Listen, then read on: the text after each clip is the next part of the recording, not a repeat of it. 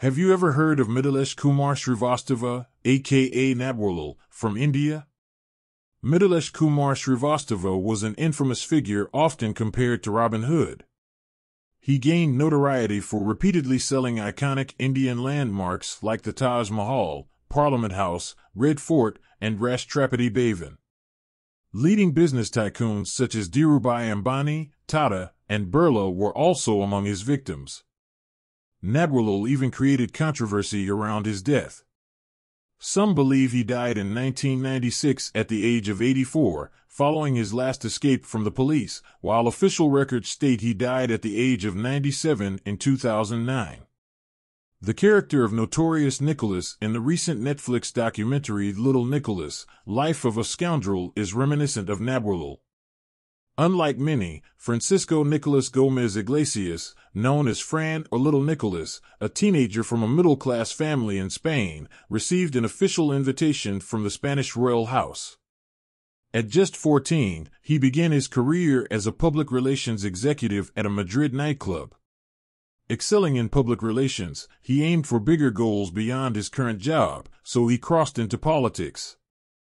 Using information as his only investment, Fran started a successful business.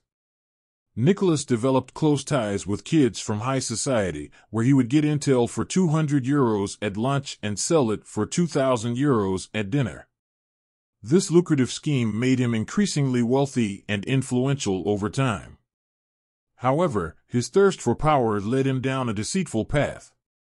He defrauded numerous businessmen by falsely promising them profitable business opportunities through his political connections. To enhance his credibility, Nicholas hired a bodyguard, rented multiple cars, and purchased a luxurious apartment. To create the impression that he had government connections, Nicholas installed a blue light on one of his rented cars. He also displayed a fake government logo on his car, suggesting he was a government representative. This was just the start of his infamous activities. Fran's thirst for power knew no bounds. He went as far as to present himself as a collaborator of the CNI, National Intelligence Agency of Spain, and even attended the coronation of Spanish King Felipe VI under a false identity. However, every story has a beginning and an end, and for Fran, it came to an end when he was arrested by the National Police of Spain in October 2014. He faced charges such as forgery, fraud, and identity theft. Despite this, Fran claimed he was working for the CNI and the Spanish royal family. He also claimed to be the president of the youth organization of the People's Party in Moncloa Aravaca, a district in Madrid.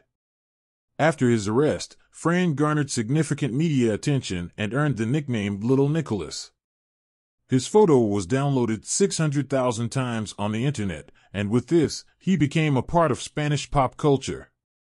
A song was even created in his name, which also gained millions of views online. He appeared on numerous alternative news channels, shaking the administration of Spain to its core. In response, the court established an autonomous special unit to investigate the case, a historic move for the Spanish judiciary system. At just 21 years old, Fran had made an impact on the systems of Catalonia and Spain. To learn the full story of Nicholas, you'll have to stream it on Netflix. The documentary series has an astonishing and shocking plotline, but its narrative falls short of being appealing. While they try conventional methods like interviews and storyboards, the storytelling lacks engagement. The screenplay is informative, which is good to some extent, but the overloaded narrative can make it hard for viewers to breathe.